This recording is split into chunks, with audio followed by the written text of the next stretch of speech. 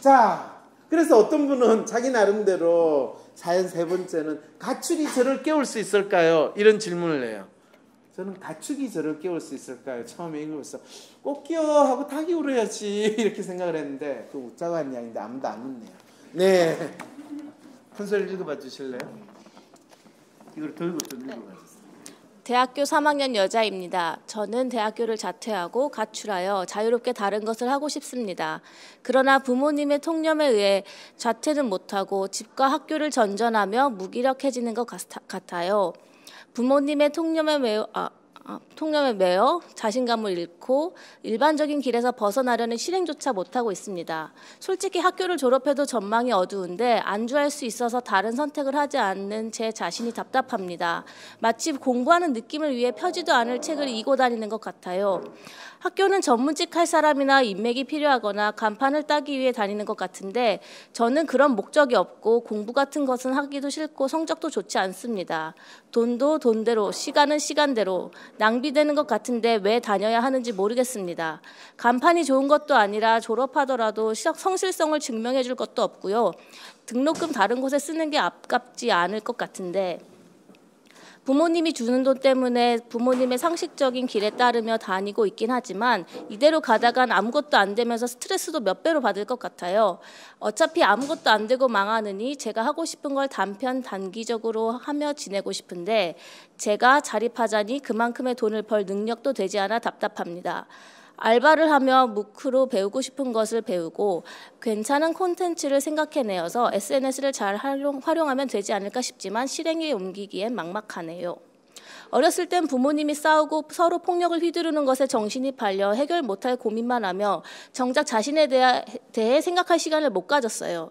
대학에 오면 해결되겠지 했는데 결국 부모 탓만 하다 경제력에 안주했다는 안주했다는 게 부끄럽기도 하고 뭘 하고 싶은지 모르고 허락 없이는 실행에 옮기지조차 못, 못하니 좋아하고 하고 싶은 게 있었던 것 같은데 어느 순간 남의 시선으로 자기 검열하고 창피해하고 직업, 돈으로 연결되지 않을 것 같아 열정은 까먹고 살아요. 마치 군대를 가는 것처럼 가출을 할까 생각 중입니다. 생각이나 경제력이나 모든 면에서 독립을 하면 어떤 것이든 제가 혼자 할 수 있는 힘이 길러지지 않을까요? 뜯어먹고 뜯어먹을 거 다 뜯어먹고 걱정만 남긴 채 훌쩍 떠난다는 게 제가 봐도 이기적인 건 알겠지만 정말 무능하고 아무것도 모르겠는 제가 뭘 해야 될지 모르겠어요. 언제 어디서나 무능할 것 같은 저를 어떻게 해야 할까? 될까요? 제 문제는 뭘까요? 정확히 무얼 고민하는지도 무슨 맛을 무슨 말을 하는지도 모르는 채 맨맨 비슷한 질문만 반복합니다. 상상 말고 현실에서 해결하고 저의 방식으로 오롯한 저의 길을 걷고 싶어요. 도와주세요. 네. 여러분 이 사연을 여러분 들으면서 앞에 나왔던 두 사연의 또 다른 평균 버전이라는 생각 혹시 안 드세요? 드시죠? 놀랍지 않아요? 그리고 또 재밌는 건 이분도 한 번은 로맨으로 났다가 한 번은 M자로 노는데 이분이 기본은 M자인 것 같아요. 그리고 이분의 가장 큰 문제는 M자의 매뉴얼 만빵인 게 가장 최악의 상황이에요. 최악의 상황이에요. 그리고 이런 분들이 가장 많이 던지는 문제는요. 언제 어디서나 무능할 것 같은 저를 어떻게 해야 할까요? 제 문제는 뭘까요? 정확히 뭘 고민하는지도 무슨 말을 하는지도 모르는 채 맨맨 비슷한 질문만 반복합니다. 상상 말고 현실에서 해결하고 저희 방식으로 오롯한 저희 길을 걷고 싶어요. 도와주세요. 그런데 본인이 통념에 가득 찬 부모에 의해서 나는 이렇게 아무런 의미 없는 대학 공부를 하고 있어요. 라는 이야기는 본인이 가지고 있는 통념과 상당히 부합된다는 것도 알아야 되고요. 제가 오롯이, 오롯한 저의 길을 찾고 싶어야 하는데 본인의 길을 찾기에는 본인의 셀프는 바닥인 상황이 되면 너무너무 힘들지 않아요? 제가 이렇게 이야기하면 이 사연 주신 분 너무 가슴 아프겠죠? 그죠? 제가 나쁜 사람 맞죠? 제가 나쁜 사람은 아니에요? 네, 그럼 다행이에요. 어, 사실 저도 가슴이 아파요. 군대를 가는 것처럼 가출을 할까 생각 중입니다. 어, 대학을 자퇴하고 가출하여 자유롭게 다른 걸 하고 싶다. 그래서 이 친구한테도 지금 대학교 3학년 여자들이 가장 이런 문제를 많이 가져요. 그리고 이럴 때 그냥 집을 나와가지고 혼자 사는 삶을 살아보세요라고 하면 부모가 허용을 안 해주거든요. 근데 본인은 답답하고 할 수 있는 게 아무것도 없어요. 이럴 때 가장 좋은 게 가장 쉽게 생각할 수 있는 게 여행을 떠나면 돼요. 그런데 여행 가는 것도 여자애가 혼자서 어디를 가 이렇게 되거든요. 그럴 때 이제 부모님을 완벽하게 속이면서 여행을 갈 수 있는 가장 좋은 방법이 외국 대학에 연수를 간다든지 교환학생을 간다고 하면 되는 거예요. 그거는 속는 부모님도 당연하게 받아들이고 본인도 가장 잘 쓸 수 있는 이거 합법적이에요. 그리고 거기에 들어가는 돈은 부모가 또 별로 안 아까워해요. 대학 등록금 주듯이 줘요. 아니 그렇게 되면 그것도 높이고 낭비고 그런 거 아닌가요? 네 그렇지만은 사실은 여기에서 어 자기가 스스로 자기를 바꿀 수 없을 때는 자기가 속해 있는 환경을 바꿈으로써 변화에 대한 단서를 찾을 수 있어요. 이럴 때 그냥 막연히 교환학생으로 가거나 막연히 1년 내가 세상을 일주할 거야 뭐 이런 거 있잖아요. 요즘에 그래가지고 매일 블로그에 자기 여행하는 거 글 올리고 하는 그런 분들도 많아요. 거의 비슷한 심정에서 시작을 하는 거예요. 그런데 그거를 적어도 100일 이상 꾸준히 올리는 사람 그렇게 많지 않아요. 100일 이상 꾸준히 올리면 드디어 여행 작가로 이제 등장한다고 이제 본인이 사랑스럽게 이야기할 수 있어요. 근데 그런 방식으로 자기가 뭘 할 것인가를 탐색하는 게 필요한데 사실은 본인이 대학을 가가지고 대학에서 뭘 배우겠다, 자기가 공부를 하겠다고 생각을 하지 않았으면 과감하게 대학에서 그럼 대학을 졸업하고 나는 뭘 하면서 살 것인가를 빨리 본인이 정해야 돼요. 그럴 때 여기서 스스로 자기가 이 친구는요 알바로 하면 무크로 배우고 싶은 거를 배우고 괜찮은 컨텐츠를 생산해야 SNS를 잘 활용하면 잘 되지 않을까 싶지만 이런 생각은요 실제로 아무것도 안 해본 애들이 그냥 막연히 귀로 들은 거를 저렇게 이야기하는데 뭐 무크를 배워가지고 무크는 그냥 일반 대학 강의하고 비슷한 이 인터넷 강의인데 그걸 듣는다고 해서 뭘 알게 되는 거 전혀 없어요. 그러면 이런 사람들은 어떻게 자기 길을 찾느냐 하면요. 이거는 본인이 소위 말해서 밑바닥부터 경험을 하면서 찾아야 돼요. 그래서 보통 이런 친구한테는 너는 어떤 일을 하고 싶니라고 물어봐요. 저는. 자, 여기에 이 사연 주신 분 있으세요? 있으면 제가 물어볼 수 있는데, 네. 어떤 일을 하시고 싶으세요? 어떤 뭐 분야나 업종이나 뭐든지 간에 직업이나 뭐 본인이 아, 저, 저런 사람처럼 저 사람처럼 살면 좋겠다 멋있다라고 생각하는 사람 혹시 있어요?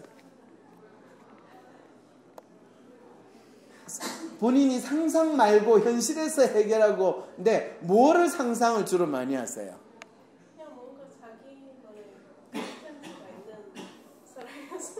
세상에 저 울고 싶어요. 자기만의 콘텐츠 가 있는 사람. 자기만의 콘텐츠를 가진다라는 거는요.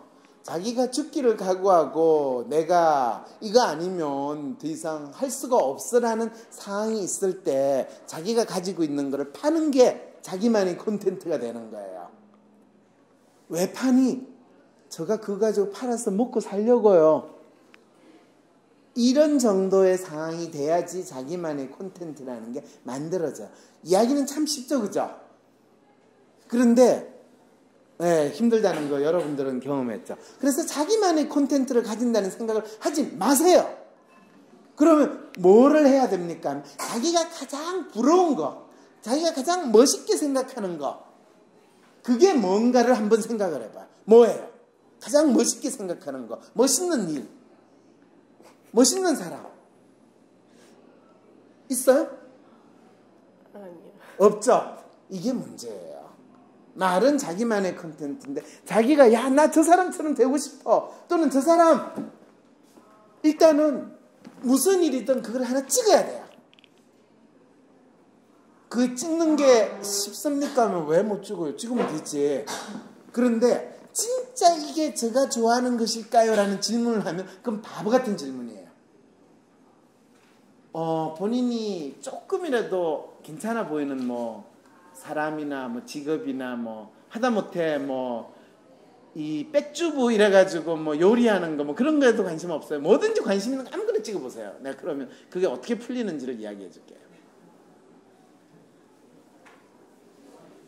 이게 사실은 가장 우리가 자기의 직업이나 미래를 생각할 때 아까 어떤 사연에서 회사에 들어가서 내가 직장을 가지고 또 직업으로서 회사에서 생활한다 이런 걸 막연히 생각하니까 진짜 자기가 어떻게 살아가느냐에 대해서 그림조차 그리지 못하는 거거든요. 그런데 실제로는 우리가 회사에 들어가 가지고 비인간적인 그런 상황에서 말도 안 되는 아까 병신 같은 그런 인간이 또 회사에서는 회사뿐만 아니에요. 대학도 마찬가지예요. 병신 같은 XX 같은 인간들이 항상 더 잘 되는 느낌을 바라보는 것이 그거는 사실 저는 그게 처음에 대한민국이 이상한 나라라서 그런가 생각했는데 제가 많은 나라를 돌아다니면서 느낀 게 그건 대한민국이 아니라 인간사에서는 어느 동네에서나 마찬가지일 수 있겠다라는 생각도 들었어요. 그런데 어느 나라에서는 나름대로 저 사람이 능력이 있고 괜찮다는 사람이 잘 되고 그 중에서 꼽사리를 끼워가지고 이 전혀 인간같이 하는 인간이나 능력이 없는 인간도 꼽사리 끼워가지고 지내는 그런 상황도 있어요. 뭐가 주류냐, 뭐가 비주류냐라는 것은 구분이 가능한데 대한민국은 그 반대예요. 완전히 이상한 인간들이 주류가 되고 제대로 된 사람은 그렇게 주류로서 안 되고 근근히 살아가거나 나중에 참 겨우 인정을 해주거나 하는 경우가 훨씬 더 많은 것을 보게 되면서 그건 내가 아무래도 익숙하니까 내가 많이 볼 수 있으니까 일어나는 현상이라고 생각을까지도 해요. 근데 그렇지 않고 나는 그냥 평범하고 보통이고요. 그냥 일반적으로 살아가는 사람이에요. 그래서 아무 생각 없이 그냥 살고 싶어요. 라고 하면 이 나라는 얼마나 좋은 나라인지 몰라요. 내가 사기치고 거짓말하고 그러면서 남들보다 돈도 많이 벌고 잘 살고 싶어요 하는 나라에서는 이 나라는 기회의 땅이에요. 그리고 그렇게 사, 그렇게 내가 돈만 많이 벌고 내가 높은 자리에 올라가면 그걸 또 포장하기에도 너무 좋아요. 처음부터 저는 청원의 꿈을 꾸고 이 사회를 적도 나은 사회로 만들기 위해서 이렇게 노력을 했습니다. 월화수 목 금금금 이렇게 일을 했습니다. 라고 해도 막 박수 쳐요. 네. 지금 대통령 선거 나와서 이야기하는 인간들 보고 있으면 야 저렇게 사기를 잘 쳐야지 우리가 대통령감으로 생각하는구나 라고 생각하는 그런 나라에 우리가 살고 있는 것도 맞아요. 그런데 그건 그들의 이야기고 내 문제를 생각할 때 상상 말고 현실에서 해결하고 저희 방식으로 오롯한 저희 길을 가고 싶어요. 그런데 저는 대학교 3학년이에요. 어떻게 할까요? 그럴 때는요, 이것저것 재지 말고요. 자기가 가장 쉽게 할 수 있는 거, 그거를 그냥 하면 돼요. 그런데 그걸 하자니 걱정이 되고요. 혹시 제가 잘못 선택을 하면 나중에 돌릴 수도 없잖아요. 나중에 돌릴 수 있어요. 돌릴 수 있어요. 그런데 한 가지 조건은 있어요. 뭐를 선택하든지 간에 5년은요, 죽었다 생각하고 해야 돼요. 그게 가장 그 일을 하는 데 있어서 기본을 습득하는 기간이에요. 근데 남들이 하는 거를 쫓아가는 방식은요, 5년이 아니라 10년을 한다 하더라도 제대로 잘하기 힘들어요.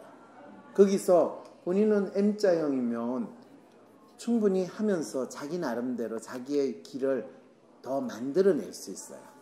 근데 처음에는 그게 뭔지를 모르니까 자기가 나름대로 하고 싶은 어떤 분야를 하나 찍으세요. 그게 뭐든지 상관없어요. 그리고 거기에서 가장 잘하는 사람, 가장 잘하는 사람이 어떤 사람인지를 탐색을 하고 그 사람처럼 적어도 되려면 어떻게 해야 되는지 그 길을 본인이 찾아가면 돼요. 네. 20대 후반에도 같은 게 말씀해 주세요. 똑같아요. 20대 초반도 상관없고 20대 후반도 이 논리는 언제까지 쓰냐면 30대 중반까지 효과가 있어요. 40이 될 때까지는 유효해요. 그냥 제가 마음에 드는 거 하나를 찍어서 그걸 하는 게 네. 음. 5년 동안요. 그럴 때 5년 동안 하는 건요. 진짜 아침에 일어나서 거의 하루 종일 그거에만 몰두해서 하는 거예요. 그리고 본인이 진짜 잘하는 게 그게 뭔지에 대해서 끊임없이 질문을 던져야 돼요. 그거는 여러분들이 생각, 생각할 수 있는 거의 모든 영역에 똑같이 적용이 돼요. 그렇지 않고 막연히 내가 무슨 대학을 졸업하면 무슨 과를 졸업하면 뭘 하면 될 거라고 믿는 것 그건 진짜 바보 같은 짓이에요. 그런 일은 없어요. 무슨 말인지 알겠어요? 그리고 그거를 진짜 어떤 영역을 하든지 간에 잘하기 위해서는요. 뭐가 필요하냐 하면 끊임없이 그와 관련된 자료를 책을 읽어야 되고요. 끊임없이 그와 관련된 내 생각을 적어야 돼요. 읽고 쓰고 하는 작업을 끊임없이 해야 돼요. 작가가 되기 위해서 글을 쓰는 게 아니라 내가 생각하는 걸 남하고 소통하기 위해서 적고 처음에는 어떻게 적어야 되는지를 모르니까 그 분야에 관련된 책을 앞에 두고 타이핑을 계속 하면서 그 내용을 내가 스스로 내 손가락이 익숙해지도록 만들어야 돼요. 그거는 여러분들이 사실은 중학교, 고등학교, 대학교 다니면서 공부하는 방법이어야 되는데 중학교, 고등학교, 대학교 다니면서 우리가 공부하는 방법을 배운 거는 공부가 아니라 그냥 떠넘어 준, 떠넘겨 주는 거를 꿀꿀꿀꿀 삼키는 거 외에는 한 게 없거든요. 그러니까 그거를 제대로 본인 스스로가 수련하는 방법을 못 배운 거예요. 그래서 이 대학교 3학년 아가씨는요, 안타깝게도 본인이 좋아하고 본인이 관심을 가지는 것 자체가 무슨 영역에서 어떤 이슈로 나오는지를 몰라요. 이럴 때 그거를 진짜 배우기 위해서는요, 학교에 있으면 안 돼요. 학교를 뛰쳐나와야 돼요. 그리고 세상을 돌아다니고 사람을 만나야 돼요. 그리고 사람을 만나는데 자기 또래의 사람을 만난 게 아니라 어떤 분야에서 나름대로 잘한다는 사람을 쫓아가가 만나서 물어봐야 돼요. 당신이 이 일을 얼마나 했습니까? 이 일이 대체 어떤 일입니까? 이런 걸 하는데 당신이 되게 멋있는데요. 당신이 어떻게 해서 이런 일을 하게 됐습니까? 물어봐야 돼요. 아무것도 모르는 20대 초반 애가 와가지고 당신이 이걸 왜 하셨어요? 또 어떻게 해서 잘하시게 됐어요? 너무 멋있어요. 그러면 대부분의 사람들은 그거에 대해서 비교적 친절하게 설명은 해줘요. 한 시간 내지 두 시간 정도 설명을 해줘요. 그거를 아까워하지는 않아요. 그런데 그 설명을 진짜 자기가 잘 들으려면 적어도 그 사람에 대해서 10시간, 20시간 사전에 파악을 해야 돼요. 그래야지 가서 물어도 그 사람이 화를 안 내요. 보통 중고등학생들이 저한테 와가지고, 오, 박사님, 박사님 어떻게 해서 심리학자로 됐어요? 얘야, 심리학자가 뭔데? 그건 제가 잘 모르겠고요. 박사님 책이 이런 게 있는데 이걸 어떻게 쓰시게 되셨어요? 애야, 이 책에는 무슨 내용이 있니? 제가 안 읽어봤어요. 잘 모르겠는데요. 됐다, 애야, 돌아가거라. 이렇게 되는 거예요. 네. 아니었고 방금 교수님이 말씀하신 그런 솔루션을 하려 하고 싶어서 그러니까 학교를 나오고 그런 뜻이었는데 네. 근데 그렇게 나 그러니까 그걸 하기 위해서는 시간도 필요하고 그 뭐 기본적인 금전 그러니까 돈도 필요하잖아요. 왜, 왜, 돈이 왜 필요해요? 돈이 왜 필요해요? 뭐 먹고 뭐 이런 집에서 안 먹여준대요? 그러니까 집에서 좀 나오고 싶은 마음이 그러면 집에서 나오고 싶은 게 커요? 아니면 그 일을 하고 싶은 게 커요? 일을 찾고 싶은 마음이 더 크긴 하죠. 그러면 집에 있으면서 찾으세요. 근데 학교 학교는 그냥 네. 가서 휴학을 해놓으면 돼요. 그리고 부모한테 이야기 안 해도 돼요. 부모가 내가 학교를 다니는지 휴학을 했는지 몰라요. 그리고 이거는 진짜 옛날에 그 현대 정주영 회장이 아버지가 소판 돈 훔쳐가지고 나와서 사업을 시작했다는데 그와 똑같은 방법을 내가 쓰라고까지 권하지는 않겠지만은 부모한테는 등록했다고 하고 그 돈을 챙겨가지고 본인이 알아서 쏘도록 하세요. 예, 제가 했다는 이야기만 하지 마세요. 본인이 진짜 뭔가를 하려면요. 그 정도 각오는 해야 돼요. 네, 손 드신 분. 무슨 질문 있어요? 아, 솔루션을 줄 수 있을 것 같아요. 주세요. 어떤 솔루션? 저도 아버, 아버, 아빠를 별로 그렇게 좋아하지 않아가지고 네. 대학교 때 항상 아르바이트를 많이 했어요. 네, 잘하셨어요. 그래서 집과는 최대한 멀리 떨어져서 네. 저의 시간을 이렇게 따로 가지니까 되게 좋았거든요. 그렇죠. 그래가지고 저분도 원하시는 분야의 아르바이트를 시작하셔가지고 네. 최대한 집에 있는 시간을 줄이셨으면 그럼요. 네. 네, 그럼. 훌륭한 생각이에요. 본인이 하면 된다니까요. 뭐든지 간에. 그런데 본인은 걱정만 하면서 하지 않으니까 이런 사연이 나올 수밖에 없는 거예요. 자, 그 다음에 안 되는 이유. 예.